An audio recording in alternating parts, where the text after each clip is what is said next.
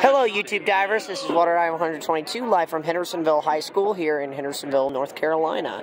So it is week 11 of the high school football regular season. Where does the time go?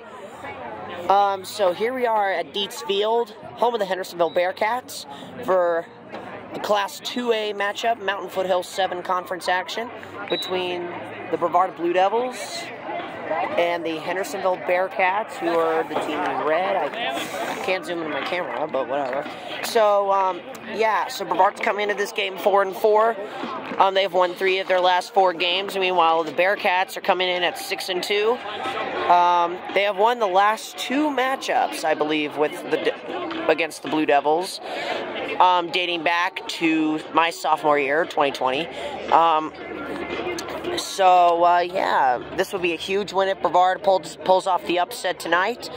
And um, I think that uh, with this uh, underdog mentality, I think we could possibly make a run at it. Um, but as for but as for Hendersonville, key players to watch for the Bearcats are Eric Rashid and Hezi Rudisol.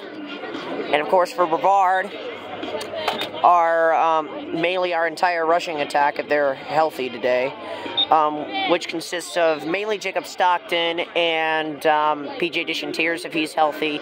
Wide and of course, scariest wide receivers are um, uh, Bronson Wyant and of course uh, Leo Maupin.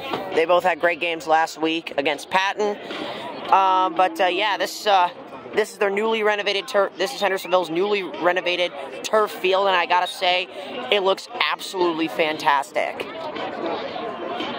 The video just absolutely cannot do it justice. This is part of a major renovation plan that the Bearcats were doing um, to the school um, a few few years back.